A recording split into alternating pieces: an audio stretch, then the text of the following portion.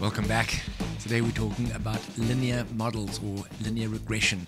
And we're going to talk about a simple linear model. And the reason we're going to just, just deal with a simple model is if you can understand what it is that we're asking and, and interpret the answers that, that the statistical model provides, if you can understand that for a simple linear model, then understanding all modeling becomes much, much easier, right? So just let, just get your head around the basics. We're not going to cover absolutely everything, but we're going to cover the essentials, and then you can build upon that quite easily. Right, you got me? Okay, let's keep going.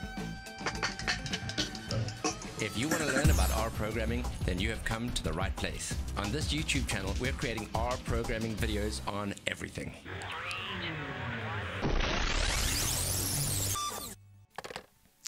Okay, as always, this forms part of a series, and you can watch the playlist in actual fact. And we've started off with explore, clean, manipulate, describe, summarize, visualize, analyze. When we're in the middle of analyze now, right? And in analyze, we've done uh, the t test, we've done ANOVA, we've done chi-squared test, and now we're going to look at linear modeling. Right. Now, let's just quickly answer the question, what, what is a linear model? And, and uh, the simple answer, well, look, if, if we look at the screen, if you look at the picture, this is going to give you, this is going to go a long way to kind of explaining what it is. Where we've got, in this case, two numeric variables. And in this case, we've got the speed of a car and the distance that the car takes to stop. So the fast, and we can see there seems to be a relationship here. That the faster a car goes, the longer it seems to take for the car to stop if it needs to stop, and that makes intuitive sense. I mean, we, like I don't think anybody would argue with that. But let's see if we can demonstrate that with the data. Right now, what a model a model does a couple of things.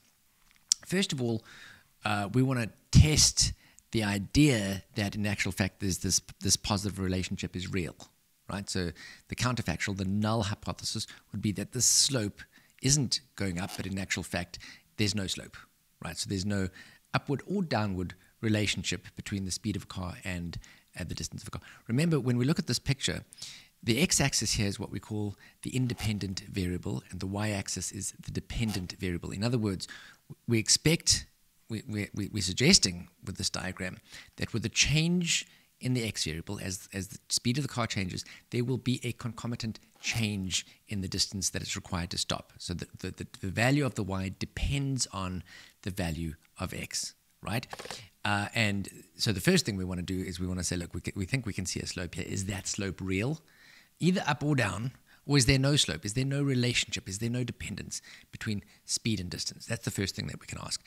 The second thing that we can ask is, how much of the variation in the distance taken to stop in, in y, how much of this up and down that we're seeing here can be explained by the change in the speed of car? Because there may be other ex- explanatory variables that we don't have access to, uh, you know, for whatever reason, you know, the reaction speed of the drivers, you know, that's something that might play into this, uh, the, the, the, the kind of surface that you're on, what, what, what the car is driving on, all sorts of possibilities.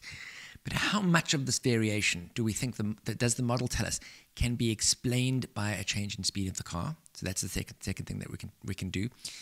Another thing that we can do is uh, we can predict how, in all likelihood, how far it's going to, how what value of y we would expect for a given value in x. In other words, in this particular model, how, how far, how much distance is going to be required for a car to stop given a particular speed of the car.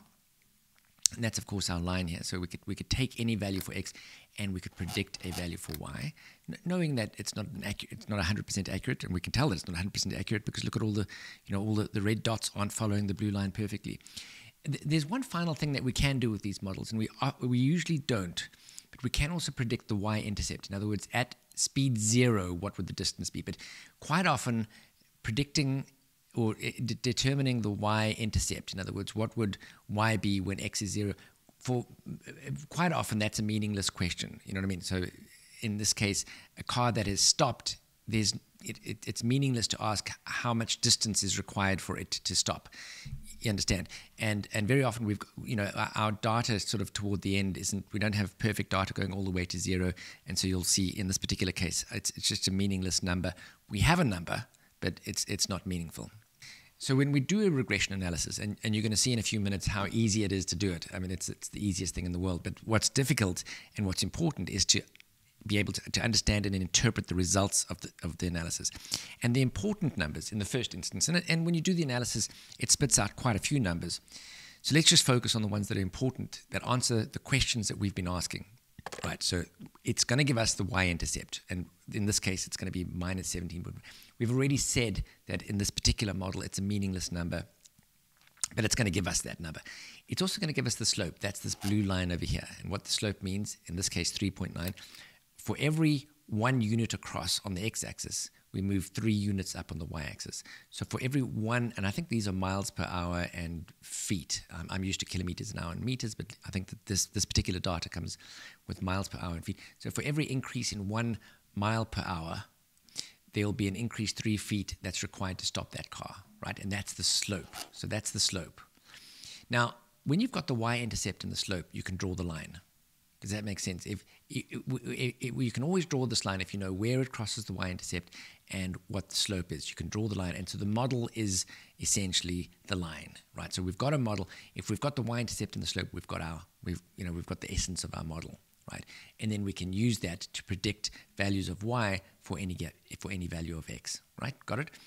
Then here's the p-value. In this case, the, the p-value is extremely small, uh, 1.4 9 times 10 to the power of negative 12, so it's you know 0.000000, bada bing, bada boom. What does that mean? What is that telling us? Well, remember our hypothesis testing, right? Here we've got a slope. We can ask the question, if this slope wasn't real, let's hypothesize the null hypothesis, the antithesis, the, the, the counterfactual. If there was no slope and we took the sample of data, what is the probability that we would just by random chance, happen to find us the slope that we've found.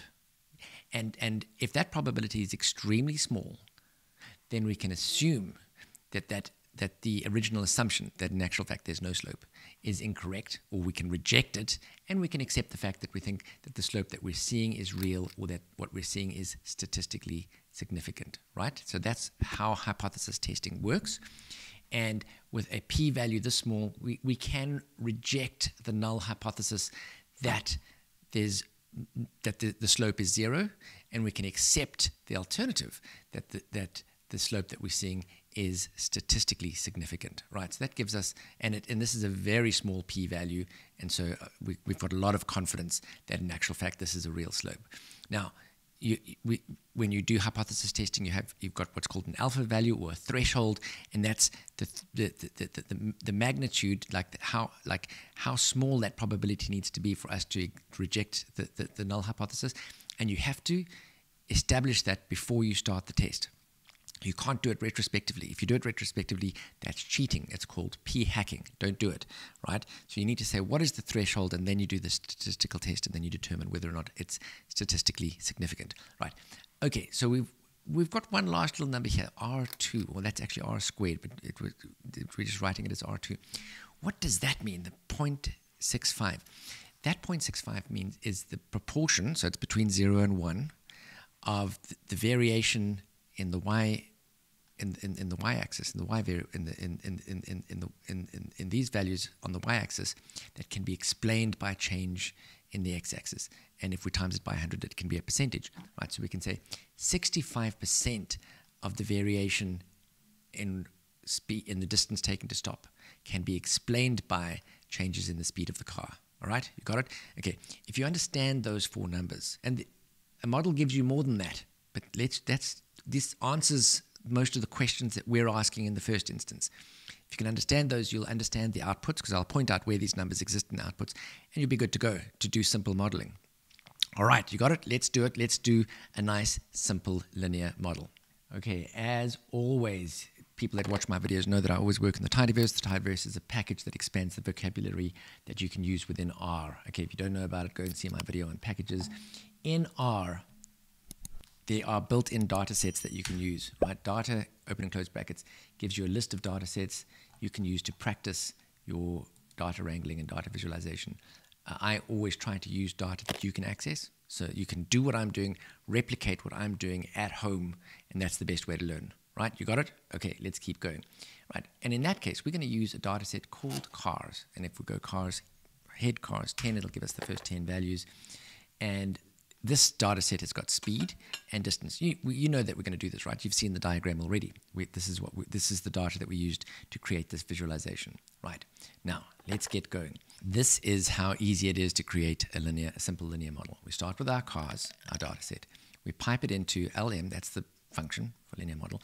Now the arguments within that are distance by time. Distance is our dependent variable first, then uh, speed is our independent variable, x-axis, right? Distance, speed, and then we say dot equals dot. Now, why do we say dot equals dot? Because, and I've explained this in other videos, whenever you're using the pipe operator, you're piping this data set, this dot, this this object into the next line of code. It takes the function and it assumes that this object is being in, introduced as the first argument for that function. But in the case of a linear model, as is the case with ANOVA, as is the case with the t-test. R doesn't want, this function doesn't want to see the data frame as the first argument. It wants to see it back here. So we simply tell it to pop the data in at the back over here, right? If, if, we didn't, if we didn't put data equals dot, it would try and slot that data frame in at the beginning of this function and it wouldn't work. Right, so this is just a way of telling R, use the data right at the end as the last argument in this case. Right, so we've done our linear model and then summary that summarizes the model. And if we push Control Enter, here's the model. Woohoo, that's easy going. The first thing that we see here is are the residuals. Now, what are the residuals? Well, this blue line here is our best fit line. That's the best line that we can stick through this data. Now, the blue line represents what the model says we should get for any given x-axis, x value, what we should get as, as a y value. But you can see that in reality, our observations don't fit neatly onto that line. And the distance between the observation and the model is the residual right? And so you, a good model, a good fit is that there isn't much residual. In other words, all of these little dots are very close to the blue line, and a badly fitted model is where the, the dots are all far away from the blue line, right? So these are your residuals. Uh, now, so your residuals, those are numbers that there's a distribution of those residuals, and what you want, if your model is valid, is for those residuals to be pretty much symmetrically uh, distributed around zero. So what do we see here? Our, our, our interquartile range is reasonably well, uh, relatively well, uh, well placed around zero. We're going to come back to residuals, and I'm going to show you how we can look at that a little bit more closely uh, in, in, just a minute. But this is these are your residuals, and you, you, you, you, you're going to use those to just try and determine the strength of your model. Right. Next thing, you've got these coefficients, and the two that I want you to see are here, these estimates. Right. Now, it doesn't call it, it says intercept. Well that's correct. That is the y-intercept and we've said we've already said that in this particular model that's really meaningless. We, we, we don't care what it is but you need an intercept if you're going to have a model right? There needs to be some way that theoretically this crosses the y-axis. Uh, in this case the intercept is minus 17 you can't have minus 17 meters. So can you see how the intercept in this case in real life is meaningless but you need it to create the model right? So we've got the number but ignore it but the other, uh, the other coefficient, this number here next to speed, that's the slope, right? So we've got that over here. That's the slope, and that's the thing that we're going to use to predict y values as a function of x, right? So we've got the slope, and we've said that for every movement along the x-axis, we move 3.9 units along the y-axis, right? So that gives us a slope. The next value that I want you to see is right over here this is the p-value for our slope. And remember, that's where we were saying the null hypothesis is that the slope is zero. We seeing a slope of 3.9. The probability of getting a slope of 3.9, if it were the case, if it were the case that in actual fact, at a population level, the slope was zero, the probability would be extremely small 1.49 times 10 to the power of negative 12, like terribly small. Importantly, that number is smaller than our, our alpha our threshold, which is 0.05, or you could you could have any alpha. There's reasons for having different alphas, and so we reject the null hypothesis that the slope is is zero, and we accept that this is statistically significant. And then the last number I want you to look at here is the r squared down here, right? That's that number is the one that tells us it's 0.65 or 65 percent of the change in y can be explained by a change in x. We've got the adjusted r here, and it's very similar in this case. But the reason there's an adjust, you don't need the adjusted r squared, by the way, uh, for a simple linear model. But as if we had a, a multivariate linear model, regression model, we would start looking at the adjusted squared instead of the r squared, and it would adjust for the fact that there's more than one variable. Okay, that's just so that you know that. And the f statistic also is more important when you've got multiple variables, and it tells you the extent to which the overall model is, is, is a good fit, whether this is a good model or not. But it becomes more and more relevant as we start adding variables on. But these four numbers here are the, are the they, these are the ones that you absolutely need to understand, and you can build upon that as you get to understand linear modeling better and better. Okay, let's just go back to our code for a second. So we did all of that just by going cars, piping it into model, getting the summary, right? But let's just look at other ways of doing the same thing and, and other things that we can extract here. We can take this line, okay, linear model, uh, distance speed, and without piping it in, we'd actually have to say what data we're looking for. So data equals cars, right? And we assign that to MOD, you could assign that to anything, but we're just going to call it MOD. We're creating an object. All right, so if we do that, we're creating an object called MOD. And if we call that object, if we control enter on that object, um, it doesn't do the entire summary that we got earlier. It just gives us the intercepts. But if we ask for summary of MOD, summary of model, then it's going to give us the whole model, the same thing that we got earlier with this, this that code up there. All right. The nice thing about creating the object MOD, when we create that model, is there's more we can do with it, right? So we can say attributes MOD, right? Attributes MOD, and it'll tell us all the things that sit inside that model, and then we can call specific ones that we want. Like if we want to look at all of the residuals, for example, we can do MOD dollar sign residuals, and voila, it's going to give us all of the residuals. That's interesting because what if we then said hist to get a histogram of MOD dollar sign residuals? We can draw a histogram of our residuals to determine whether or not we believe that it is symmetrically uh, shaped around zero, for example. And I'm not going to get into you know the, whether whether or not this is exactly symmetrical or not, but you understand the idea that you can call your residuals and then you can start asking questions about that. All right. The next thing that's uh, quite fun and quite important is we can now actually use this model to do some of this predicting, right? So it's not just like in theory we can predict stuff. I mean, we can actually we can actually do this prediction. All right. Let's say, for example, we generated a list of speeds, right? We call them new speeds, speeds that we want to we, we, we, we want to we these are x-axis, these are independent variable uh, data points, and we need to put them into a data frame. So we say data frame, uh, and we're only going to have one variable in this data frame. It's going to be speed, and speed is going to have these three values, right? So we create that new object speed, and if we click on it, we can see what it looks like. And there you see it's a little data frame. It's just got one variable, that variable speed. Fine, super duper easy. Now we've already got an object called mod. That's our model. So we can use the function predict. The first argument is mod. That's the model. The second argument is our new values that we want to plug into the model. And then I'm just piping it into the, the function round to round off the numbers, right? And if we push Control Enter, voila, we can see down here, for the first value, which was 10, the model predicts that your stopping time, that your stopping distance would be 21 meters. So if you were so the model predicts that at 10 miles an hour, it would take 21 meters, about 21 meters to stop. Let's look at the diagram. At 10 miles an hour, we look at the line and where does that map out onto onto your y-axis, yeah, probably about somewhere 21 meter, uh, feet to stop. Similarly, the second value, 15, uh, it gives 41 meters, 15 zoop, and that's about 41. And the third is 61 from 2020 goes up to about 61. So it all works out exactly as we would expect. Just to show you, if we go back to our code here, we can get to the same place with our pipe operator. So we start with car, pipe it into our model, right? Pipe that into predict. So the first argument here in predict is going to be the model that's piped in. So we don't need to say MOD. We're piping the model in.